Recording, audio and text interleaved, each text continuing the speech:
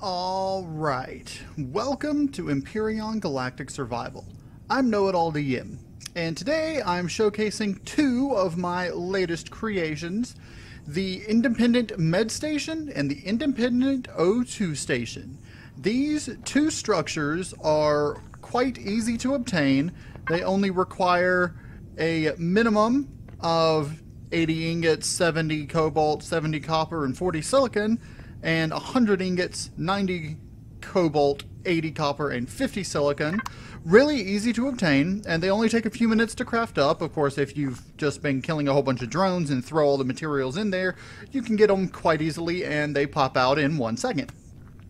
Now, these stations are set up and equipped to heal you if you are injured in the middle of nowhere. You can throw this independent medic station down just anywhere you want and you can respawn back here.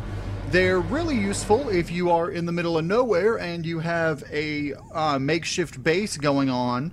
Uh, the medic station especially because you can't have a respawn point uh, on a small vessel, unlike the O2 station, which there is an O2 station for the uh, small vessel.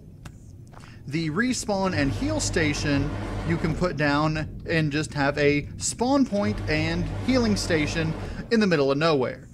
Of course, you will have to defend it from drones if you put it out in the middle like I did, but this is just for the showcase. So, uh, the O2 station is similar in that it is just an O2 station that you can just grab things from.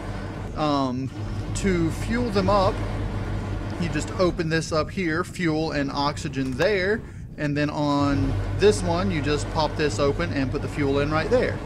Um, but they're really easy to obtain and quite useful in my opinion. That's it for this showcase. I hope you guys enjoyed this showcase and are looking forward to more. I'm Know It All